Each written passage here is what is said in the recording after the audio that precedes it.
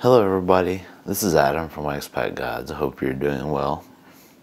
I'm here on a cold and blowy winter night, and I'm looking for a little bit of sunshine, a little bit of warmth as we wait for spring to come, and especially for spring training to come. And so, what better place to get a little sunshine than in baseball cards? And one of the baseball cards that's always made me smile and brought some joy and, and warmth to the day is this 1983 Donruss um, Cesar Cedeno. This is not an actual Cesar Cedeno, it's um, a picture from the internet that I pulled up. I have this card buried somewhere. I need to spend some time and pull it out. Uh, but for tonight, this will do. Still makes me smile. What I want to do with this is something a little different. Uh, folks are celebrating baseball cards and especially old baseball cards in all sorts of ways on the net and elsewhere these days. And one of the things I really admire are the people who have taken to reproducing baseball cards with their artistic talents. Now, I have zero artistic talent. Um, but I thought it looked like fun to draw baseball cards that you love. I've seen several guys do it on Twitter, other places. So I thought I might give it a go. And what better place to start than with Cesar here? So I will give it a shot, and it's here for everyone to see. And then we'll see how bad it is. Remember, I told you I have very little artistic ability, so we'll just go from there. I won't even comment much on what I'm drawing other than to say at the outset here it's going to be a little rough. It's okay. So,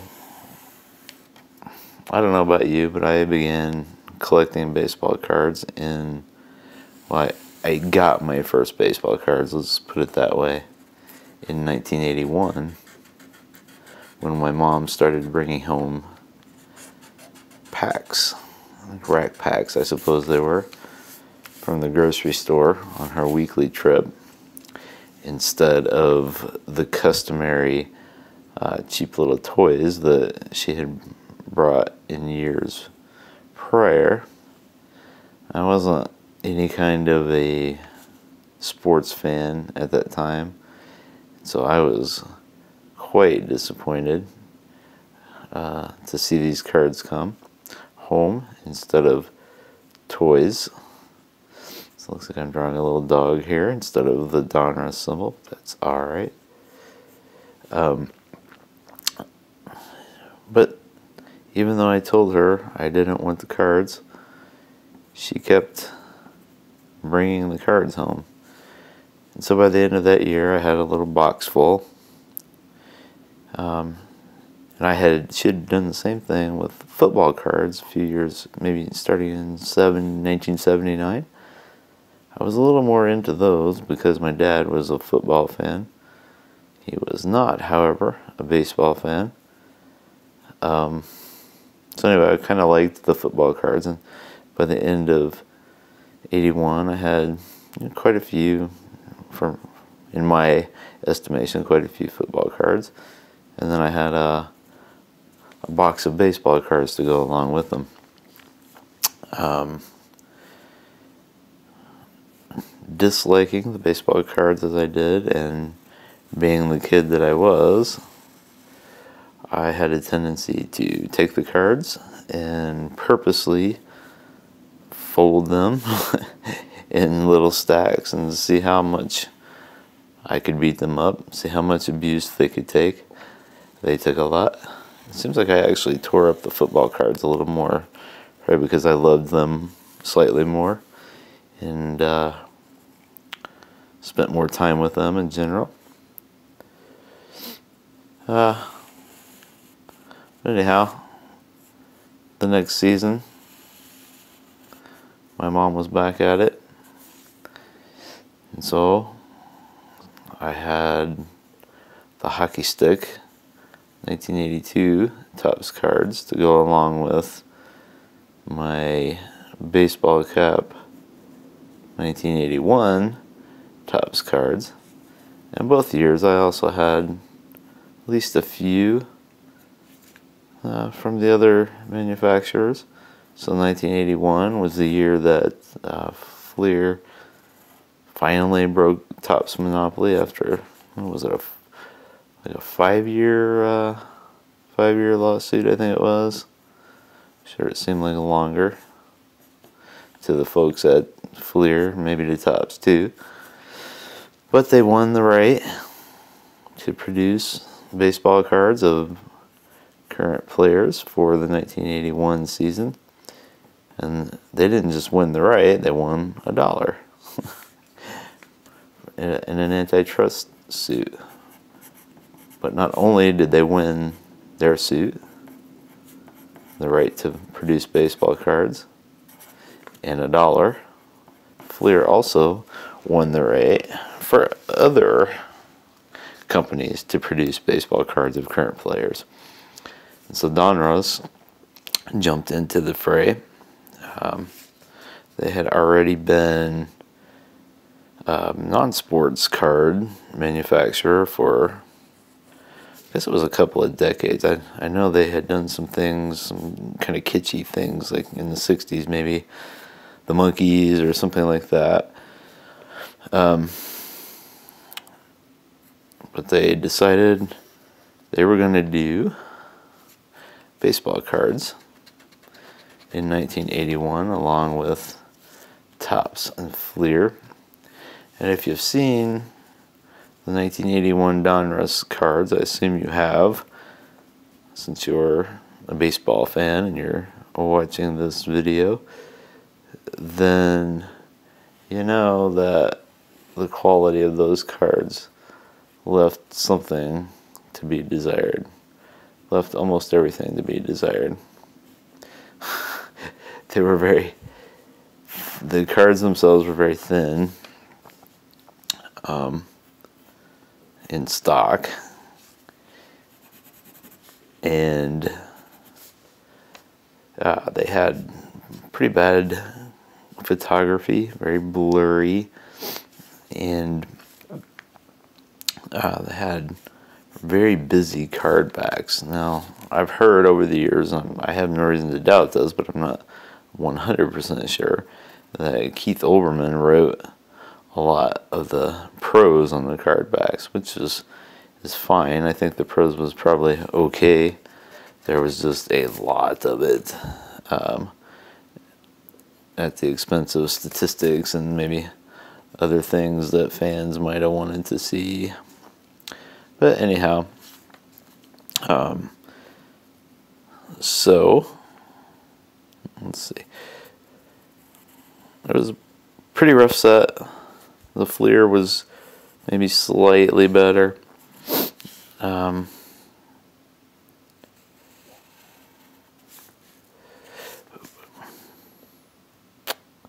and then in 82, I actually thought the Fleer set was a little less nice than it was in 81.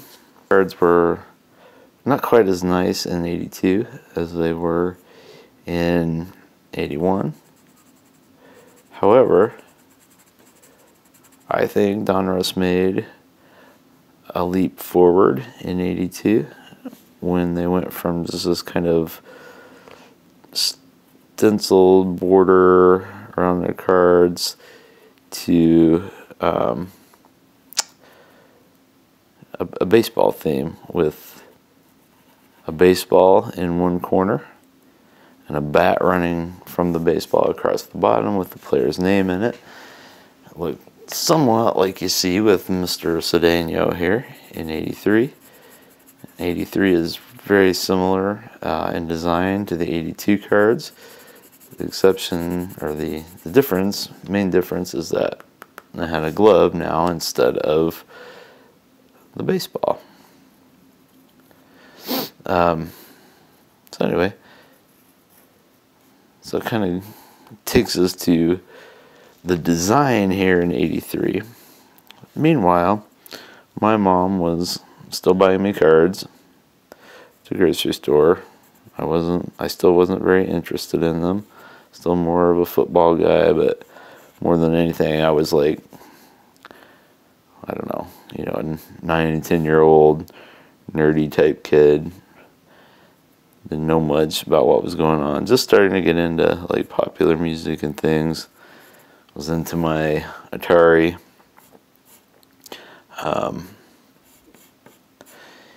and then my Commodore 64, but that would come a little bit later. Um, in 82, didn't really look at baseball much, not at all, actually. Then in 83, things started to change a little bit.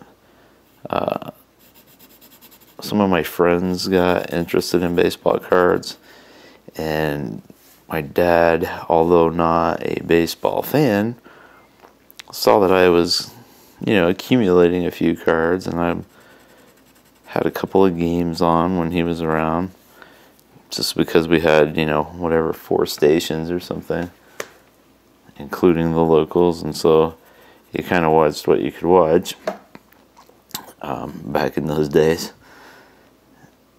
Didn't have hundreds of stations to choose from. Okay, so I'm gonna, I'm sure I'm gonna butcher his eyes here, so I will make a comment, comment on that. He's very smiley even with his eyes. Good on you, Cesar. No wonder I like you so much. Um, but anyway, my dad wasn't a baseball fan, but he started telling me since he was a sports fan, he had heard and kind of knew about the Reds from um, the 70s. We were we were in Indi- in Indiana, so it's pretty much. So Cesar's gonna look tired here, even though he looks smiley in real life. Um, so we were in Indiana, um, and so it was hard to avoid hearing about the Reds and the Big Red Machine in the 70s. they were really something. So my dad told me about some of the great players from the, the team uh, that he knew about. So he knew about Pete Rose. He'd heard a lot, a lot about him. He knew about Johnny Bench. Heard some about him. But the guy that really stuck out for my dad was uh, Joe Morgan. And so Morgan, of course, was uh, the MVP of the National League in both what 1975 and 1976 had some just monstrous seasons there especially considering that he's just a little second baseman um, so a little bit far. He's got big old dimples, does Cesar. And so my dad knew that Joe Morgan was a really great player. And so he told me all about him. And as I said, he had mentioned uh, Johnny Bench too. And as it so happened, one of the times I had one of those games on in 83, I learned that Johnny Bench was going to retire at the end of the season. So here I was,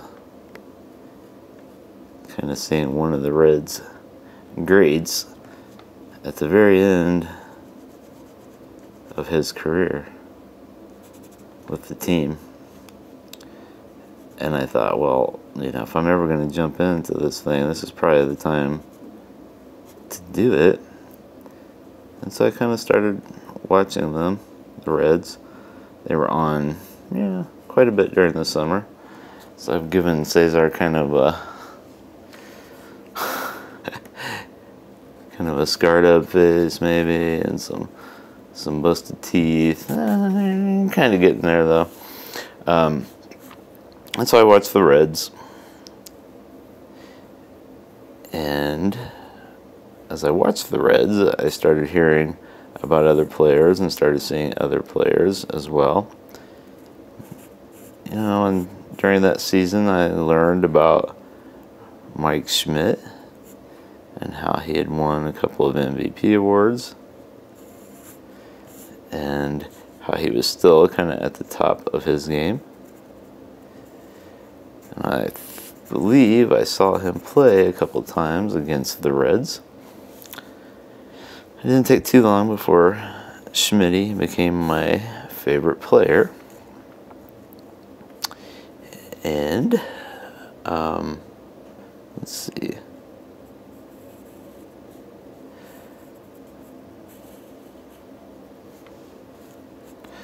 So kind of, kind of a zombie, uh, zombie Cedeno going on here.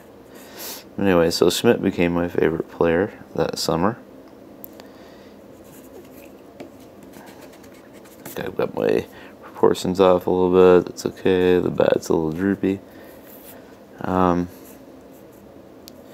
and so I was really happy when the Phillies won the National League East.